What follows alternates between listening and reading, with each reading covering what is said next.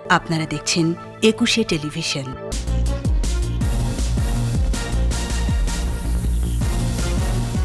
বিদেশে কর্মী পাঠাতে দায়িত্বশীল হওয়ার নির্দেশ প্রধানমন্ত্রীর, প্রবাসীদের অধিকার নিশ্চিত করার আহ্বান। দেশে প্রচলিত আরটিপিসিআর টেস্টে ধরা পড়ছে না নতুন ধরনের করোনা, আধুনিক প্রযুক্তি ব্যবহারের পরামর্শ। টিভি অভিনেত্রী আশা চৌধুরীর ময়নাতদন্ত সম্পন্ন, পরিকল্পিত হত্যার অভিযোগ স্বজনদের। রাজুক কর্মকর্তা কর্মচারীদের ঘুষ দিয়ে শতাধিক প্লট ফ্ল্যাটের মালিক গোল্ডেন মনির, খোঁজা হচ্ছে সহযোগীদের।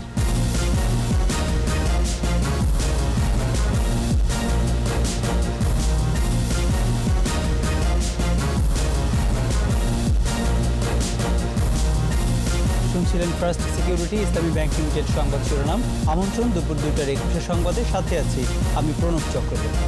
দর্শক একুশে টেলিভিশনের সংবাদ একই সাথে সরাসরি দেখতে পাবেন আমাদের Facebook page W W W Facebook dot com slash Ekushey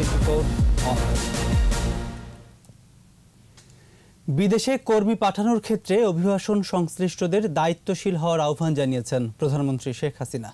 আন্তর্জাতিক অভিবাসী দিবসের অনুষ্ঠানে তিনি বলেন অভিবাসীদের মর্যাদা নিশ্চিত করতে হবে। তাদের যেন কোনো রকম সমস্যা না হয়।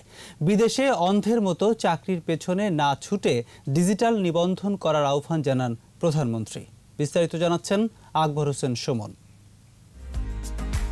দু হাজার সালের চার ডিসেম্বর জাতিসংঘের সাধারণ পরিষদ অধিবেশনে বিশ্বব্যাপী আঠারো ডিসেম্বর আন্তর্জাতিক অভিবাসী দিবস পালনের সিদ্ধান্ত হয়। এর ধারাবাহিকতায় এবছর প্রতিপাদ্য নির্ধারণ হয় মুজিব বর্ষের আহ্বান, দক্ষ হয়ে বিদেশ যান। রাজধানীর বঙ্গবন্ধু আন্তর্জাতিক সম্মেলন কেন্দ্রে গণভবন থেকে ভার্চুয়াল প্ল্যাটফর্মে দিবসটির আনুষ্ঠানিক উদ্বোধন করেন প্রধানমন্ত্রী শেখ হাসিনা। তার পক্ষে শিক্ষাবৃত্তি ও সিআইপিদের সম্মাননা প্রদান করেন প্রবাসী কল্যাণ ও বৈদেশিক কর্মসংস্থান মন্ত্রী। বক্তব্যে প্রধানমন্ত্রী দেশের অর্থনৈতিক গতি নিশ্চিতে বৈদেশিক মুদ্রার গুরুত্ব তুলে ধরেন। অর্থনীতির বড় যোগানদাতা এই প্রবাসীদের প্রতি অভিবাসন সংশ্লিষ্টদের দায়িত্বশীল হবার নির্দেশ দেন। শ্রমিক অভিবাসনের সঙ্গে যারা জড়িত, বিশেষ করে রিক্রুটিং এজেন্ট থেকে শুরু করে আমাদের মন্ত্রণালয় তাদেরকে আমার অনুরোধ এদেশের মানুষ কিন্তু মানুষ সেভাবে তাদের মর্যাদা দিতে হবে। আর তাদের জন্য কোনো রকম সমস্যা না হয়। কর্মী প্রেরণে যে সমস্ত সংগঠনগুলি আছেন তাদেরকে আমি এইটুকু অনুরোধ করব যে আপনাদেরকে দায়িত্বশীলতার ভূমিকা পালন করতে হবে। কারণ দায়িত্বটা আপনাদের উপরে পড়তায়। অর্থনৈতিকভাবে স্বাবলম্বিতা অর্জনের পথে বাংলাদেশ এমন পর্যায়ে অন্ধের মতো চাকরির পেছনে না ছুটে আগে দক্ষতা অর্জনের তাগিদ দেন প্রধানমন্ত্রী। এখন আমাদের দেশে কাজেরও যেমন অভাব নেই খাবারেরও অভাব নেই আল্লাহ রহমতে। কাজে এখন আর এই সোনার হরিণ ধরার পিছনে কেউ দয়া করে অন্ধের মতো ছুটবেন না। আপনারা নিবন্ধন করে তার মাধ্যমে যান সেটাই আমরা চাই। ঋণ সহায়তার আশ্বাস দিয়ে বিদেশ ফেরত কর্মীদের ব্যবসার উদ্যোগ নেওয়ার পরামর্শ দেন সরকার প্রধান। আমাদের কর্মী যে দেশে যায় তারা তাদের অর্থনীতিতে অবদান রাখছে। তারা তাদের দেশ গড়ায় ভূমিকা রাখছে। কাজে তাদেরও গুরুত্ব অপরিসীম। অর্থনৈতিকভাবে আমরা স্বাবলম্বিতা অর্জনের পথে একশোটা অর্থনৈতিক অঞ্চল আমরা গড়ে তুলছি। আমাদের এখানেও কাজের কোনো অভাব হবে না। দক্ষ কর্মী আমাদেরও প্রয়োজন। বিদেশি বিনিয়োগ আসছে। আত্মনির্ভরশীল দেশ গড়তে দক্ষ ও কর্মক্ষম জনশক্তি প্রয়োজন বলে উল্লেখ করেন প্রধানমন্ত্রী। আর্থসামাজিক উন্নয়নের ক্ষেত্রে আমরা আত্মমর্যাদাশীল হব আত্মনির্ভরশীল হব। আকবর হোসেন সুমন একুশে টেলিভিশন ঢাকা। ব্রিটেনের স্ট্রেইনের অনুরূপ করোনা ভাইরাসের নতুন ধরন বা স্ট্রেইন দেশে শনাক্ত হয়েছে। বিদ্যমান আরটিপিসিআর পরীক্ষায় ব্যবহৃত হচ্ছে টু জিন বা দুই জিন পরীক্ষার পদ্ধতি কিন্তু বাস্তবতা হলো এ পদ্ধতিতে নতুন স্ট্রেইন শনাক্ত করতে পারে না। ভাইরাস বিশেষজ্ঞদের পরামর্শ হল, অন্যান্য দেশের মতোই ট্রাইজিন প্রিমার ব্যবহার করে সক্ষমতা বাড়াতে হবে। উদ্যোগ নিতে হবে ত্রিজিন পদ্ধতির কিট আমদানির। রিপোর্টে আরও জানাচ্ছেন মোহাম্মদ নুরুন্নবী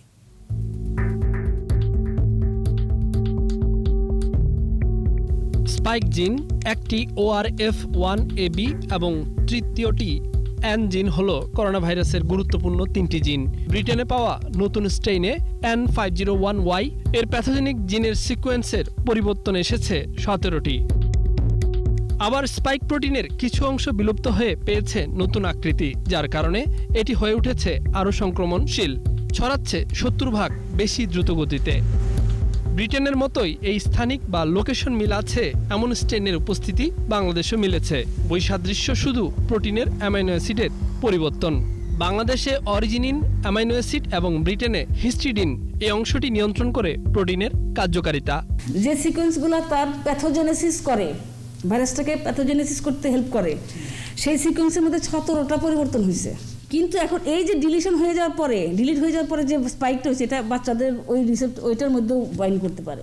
ভাইরাস পরিবর্তন হলেও বাংলাদেশে বদলায়নি করোনা শনাক্তকরণে প্রচলিত আরটিপিসিআর পদ্ধতি। আগের মতোই করা হচ্ছে টু জিন পদ্ধতিতে যা সবগুলো মিউটেশন বা পরিবর্তনকে শনাক্ত করতে পারছে না। আরটিপিসিআর আমরা কি যে প্রাইমারটা ব্যবহার করি সেই প্রাইমারটা হচ্ছে টু জিন প্রাইমার আমরা দুইটা জিন দেখি। তো এখন যে সিকোয়েন্স এখন যে ভাইরাসটা তার তো পরিবর্তন হয়েছে ওইটা কি এটার সাথে বাইন্ড করবে এখন? ইউরোপীয় ইউনিয়ন ও ব্রিটেনে প্রথমে থ্রি জিন আরটিপিসিআর স্ক্রিনিং এবং পরে সিকোয়েন্সিং করে দেখা গেছে। সব পরীক্ষায় এস জিন নেগেটিভ এসেছে। সেখানে বাকি দুটো জিন পরীক্ষায় জিন পজিটিভ আবার জিনোম সিকোয়েন্সিংয়ে নিরানব্বই শতাংশে নতুন স্ট্রেনের উপস্থিতি মিলছে। এখন বিদেশে যেমন থ্রি জিন টেস্ট শুরু হয়েছে অলরেডি তারা বার করছে টেস্ট কিট কিট বার করছে কিন্তু আমাদের দেশে নাই সেটা। এখন আমদানি করা হয়নি। যে এরকম তো মানুষ ইনফেকশন নিয়ে আসতেছে আইসিইউতে এখন বেশি হ্রাস এবং মানুষ মারাও যাচ্ছে। ইয়াং জেনারেশন মারা যাচ্ছে। আর আমাদের কোন স্ট্রেন সেই হিসাবে জেনে আমাদের টেস্ট অবশ্যই বদলাইতে হবে। বাংলাদেশের বাস্তবতা হলো আরটিপিসিআর টেস্টে নেগেটিভ ফল আসলেও সিটি স্ক্যান কিংবা এমআরআইতে অনেকেরই মিলছে ফুসফুসের সংক্রমণ। এই যে ভাইরাসটা এটাতে কোনো তেমন কোনো সাইন সিমটম হয় না, হালকা একটু সাইন সিমটম হয়। তা আমাদের দেশে এরকম, দেখা যাচ্ছে যে হঠাৎ করে শ্বাসকষ্ট শুরু হয়েছে অক্সিজেন স্যাচুরেশন কমে যাচ্ছে আইসিইউতে নিয়ে অক্সিজেন দেওয়া হচ্ছে লাঙ্গে সিটি স্ক্যান করে দেখা গেছে যে লাং ইনভলভ কিন্তু COVID test negative three gene শনাক্ত করার পদ্ধতি শুরু করতে হবে আরটিপিসিআর টেস্টে ঠিক তেমনিভাবে প্রতি একশোটি কোভিড নাইন্টিন পরীক্ষায় কমপক্ষে পাঁচটি জিনোম সিকোয়েন্সিং করতে হবে। মোহাম্মদ নুরুন নবী একুশে টেলিভিশন, ঢাকা। রাজধানীর টেকনিক্যাল মোড়ে পড়ে থাকা টিভি অভিনেত্রী আশা চৌধুরীর ময়নাতদন্ত সম্পন্ন হয়েছে। স্বজনদের অভিযোগ, পরিকল্পিতভাবে হত্যা করে রাস্তায় ফেলে দেওয়া হয়েছিল আশাকে। তবে পুলিশ প্রাথমিকভাবে মনে করছে, সড়ক দুর্ঘটনায় ঘটনাস্থলেই নিহত হয়েছেন এই অভিনেত্রী। আরও জানাচ্ছেন দীপু শিকদার। সোমবার দিবাগত রাত দেড়টা চলমান একটি গাড়ির সিসিটিভির ফুটেজ। কল্যাণপুর থেকে টেকনিক্যাল মুখী যানবাহন। দেখা যাচ্ছে পাশাপাশি দুটি ট্র্যাক। কয়েক সেকেন্ড পরে স্পষ্ট হয় রাস্তায় পড়ে আছে একটি বাইক। আর বাইকের কিছুটা সামনেই পড়েছিল হতভাগ্য তরুণীর নিথর দেহ। সিসিটিভি ফুটেজ বিশ্লেষণ করে আশার মৃত্যুর কারণ সড়ক দুর্ঘটনা মনে হলেও পরিবারের দাবি হত্যাকাণ্ড। বাইকের তে ফালাই দিয়ে এটা বুঝাইছে যে অ্যাক্সিডেন্ট হয়েছে আমাদের সন্দেহ ছেলে আমার বাইক নিয়ে মারছে। বাইক চালিয়েছে যে ছেলেটা ওই ছেলেটা বলছে যে রাত্রে রাস্তা পার হইতে যা মারা গেছে ঠিক আছে? সকাল আবার বলছে কি আমার বাইকতে পড়ে গেছে। আবার সে বলছে কি আমাকে ট্রাকে ধাক্কা মারছে। মৃত্যুর ঘটনায় স্বজনরা দারুসালাম থানায় মামলা করেন। পুলিশ বলছে মৃত্যুর রহস্য উদ্ঘাটনে তদন্ত করা হচ্ছে। সিসি ফুটেজের সংগ্রহে আমরা পর্যালোচনা প্রাথমিক অনুসন্ধানকে জানতে পারতেছি যে অজ্ঞাতনামা ট্রাকের আঘাতে এই আয়সা আক্তার আশা ঘটনাস্থলে মৃত্যু হয়। অজ্ঞাতনামা ট্রাকের যে ড্রাইভার তারে আমরা অল্প সময়ের মধ্যে গ্রেপ্তার করতে পারব। ঘটনার পর জিজ্ঞাসাবাদের জন্য বাইক চালক আশার বন্ধুকে আটক করেছে পুলিশ। দীপু শিকদার একুশে টেলিভিশন ঢাকা। রাজনৈতিক ছত্রছায়ায় গোল্ডেন মনিরের উত্থান। তবে অবৈধ কাজের সহযোগী হয় রাজধানী উন্নয়ন কর্তৃপক্ষ রাজুকের অসৎ কিছু কর্মকর্তা কর্মচারী। তাদেরকে ঘুষ দিয়ে শতাধিক প্লট ফ্ল্যাটের মালিক হয়েছেন এই মনির। তার সহযোগীদের বিষয়ে খোঁজ খবর নিচ্ছে আইন শৃঙ্খলা বাহিনী। সাইদুল ইসলামের তিন পর্বের ধারাবাহিকের দ্বিতীয় পর্ব আজ। নব্বইয়ের দশকে গাউসিয়া মার্কেটের দোকানকর্মী মনিরের উত্থান গল্পের মতো। এখনও গোল্ডেন মনিরের সব সম্পদের হিসাব মেলানো যায়নি। এর মধ্যে আবার কয়েকশো কোটি টাকা পাচারের তথ্য আছে। আইন শৃঙ্খলা বাহিনীর হাতে। বিদেশি টাকা পাচারের তথ্য পাওয়ার পরিপ্রেক্ষিতেই বাংলাদেশ পুলিশের সিআইডি ইউনিটকে ইতিমধ্যে সরবরাহ করেছে।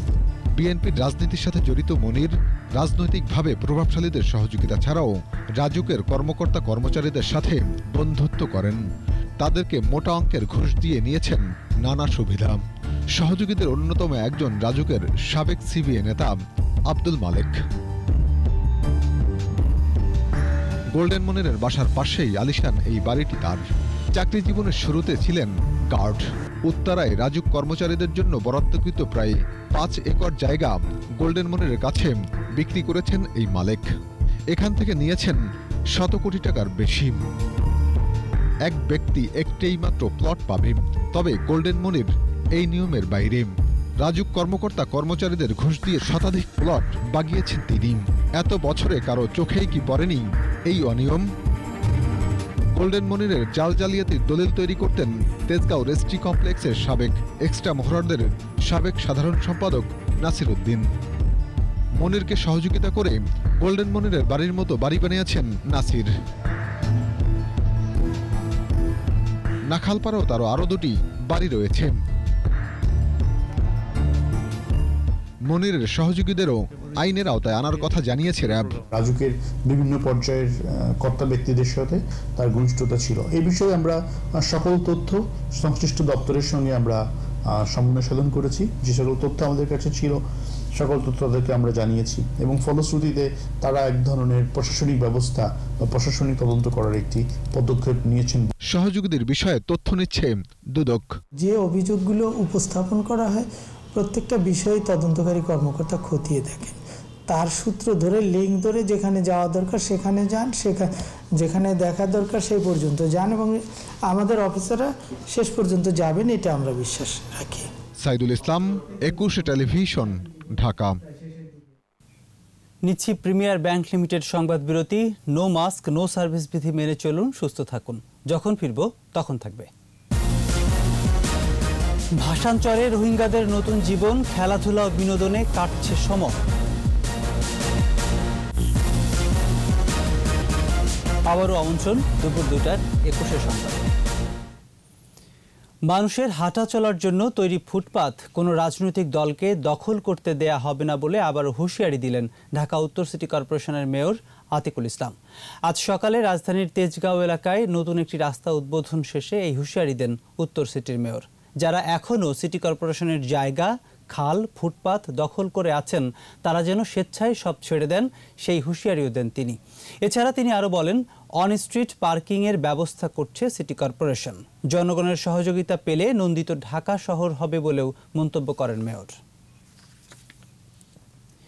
ভাষাঞ্চরে রোহিঙ্গাদের জন্য খেলাধুলা ও বিনোদনের সব ব্যবস্থা করা হয়েছে। স্পোর্টস ও মিউজিক ক্লাবের উদ্যোগে প্রতিদিনই চলছে প্রতিযোগিতা।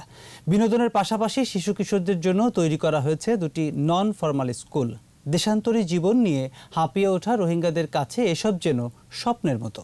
ভাষাঞ্চর নিয়ে স্মৃতিমণ্ডলের ছয় পর্বের ধারাবাহিকের তৃতীয়টি আজ ক্যামেরায় ছিলেন তপু শাহিন মিয়া। ভাষাঞ্চরের উন্মুক্ত মাঠ। চলছে ফুটবল ম্যাচ। মাঠের চারপাশে সব বয়সী দর্শক কখন গোল হবে? টান টান উত্তেজনায় ম্যাচ এগুচ্ছে। বল গড়াচ্ছে এক পা থেকে অন্য পায়ে।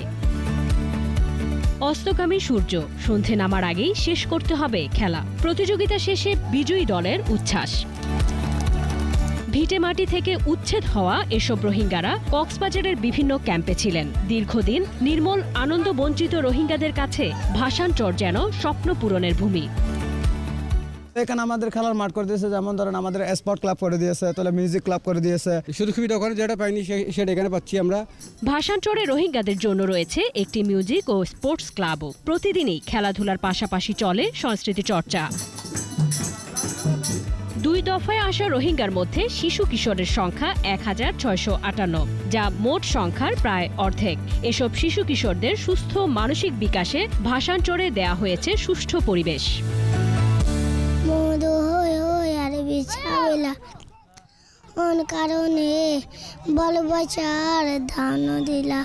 রোহিঙ্গা শিশুদের জন্য দুটি নন ফর্মাল স্কুলও প্রস্তুত। প্রতিটি স্কুলে ক্লাসরুম দশটি। শিক্ষা মন্ত্রণালয়ের সিদ্ধান্তে চালু হবে শিক্ষা কার্যক্রম। আমরা তো ইম্পর্টেন্ট ওই দে এখন পড়াশোনার ব্যবস্থা এদের খাদ্য পাইছে খানা মানে গদ দুয়ার পাইছে বেশি ভালো লাগে gura gura fan pegun an educated da wi. Formal curriculum boy fanna fare ba ara sai.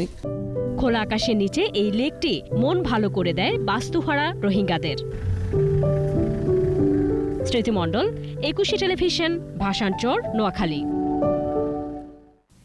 আবারও প্রিমিয়ার ব্যাংক লিমিটেড সংবাদ বিরতি।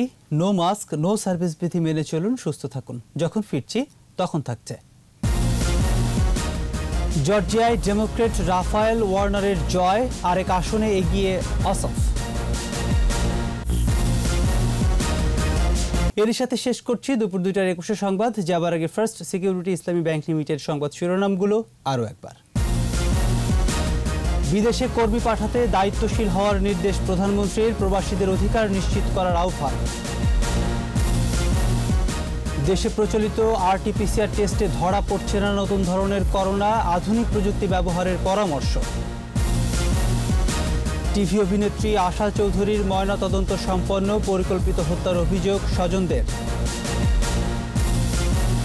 রাজুক কর্মকর্তা কর্মচারীদের ঘুষ দিয়ে শতাধিক প্লট ফ্ল্যাটের মালিক গোল্ডেন মনির, খোঁজা হচ্ছে সহযোগীদের।